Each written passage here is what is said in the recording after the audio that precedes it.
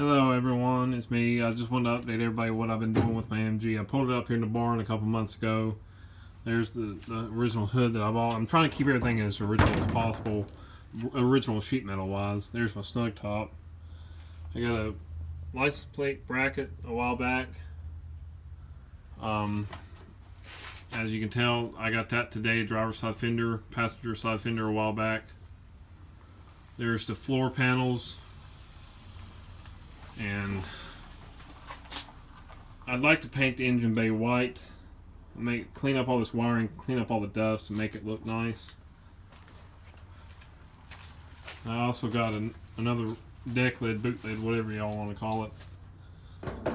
And I got brand new patch panel for the trunk because it's all rotted out underneath there.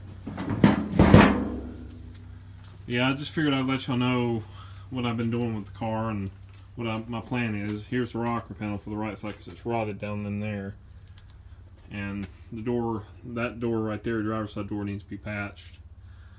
Uh, the floors, of course, are gone. I don't know if you can see it in the light, but I'm gonna, I'm gonna, I'm gonna work on this thing. It, it, the car means a lot to me, and I'd like to see it on the road again because it hasn't been on the road since 2000.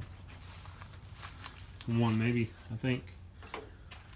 And of course the wiring is really hacked so. Thank y'all for watching